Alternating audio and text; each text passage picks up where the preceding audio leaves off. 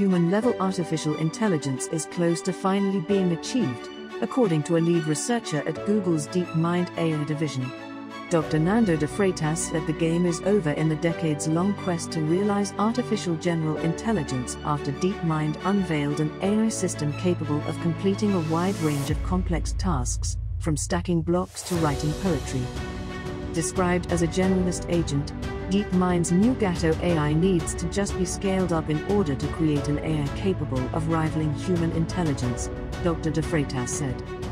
Responding to an opinion piece written in the Next Web that claimed humans will never achieve AGI, DeepMind's research director wrote that it was his opinion that such an outcome is an inevitability. It's all about scale now. The game is over. He wrote on Twitter. It's all about making these models bigger, safer, compute efficient, faster at sampling, smarter memory, more modalities, innovative data, on and offline. Solving these challenges is what will deliver AGI. When asked by machine learning researcher Alex Dimakis how far he believed the Gato AI was from passing a real Turing test, a measure of computer intelligence that requires a human to be unable to distinguish a machine from another human, Dr. De Freitas replied, far still. Leading AI researchers have warned that the advent of AGI could result in an existential catastrophe for humanity.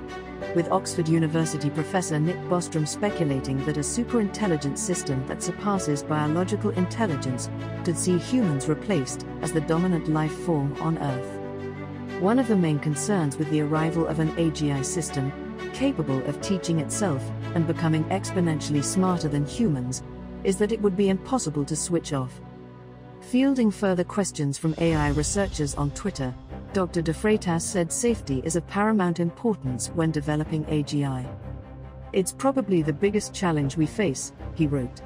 Everyone should be thinking about it. Lack of enough diversity also worries me a lot. Google, which acquired London based DeepMind in 2014, is already working on a big red button to mitigate against the risks associated with an intelligence explosion.